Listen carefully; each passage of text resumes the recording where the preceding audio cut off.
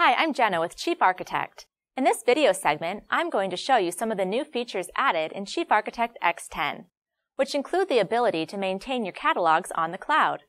Let's begin by looking at these library browser enhancements.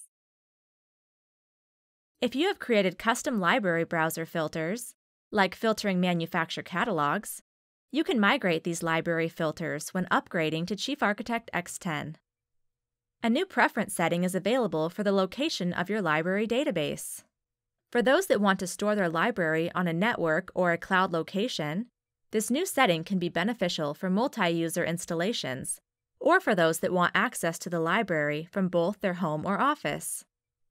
A key benefit in this case is to have a common library without the need to download and maintain two or more copies of the library database. High-speed internet access is required to use this option. In the library browser, search has been implemented by folder.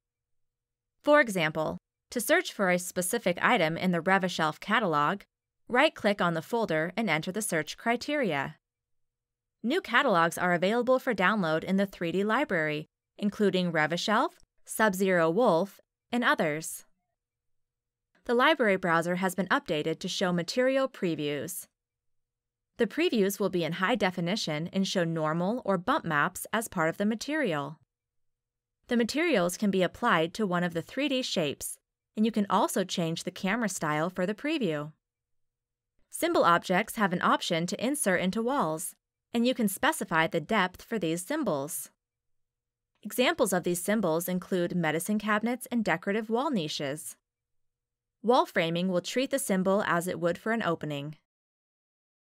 There are several great new features added to Chief Architect X10 that you can expect to see in early 2018.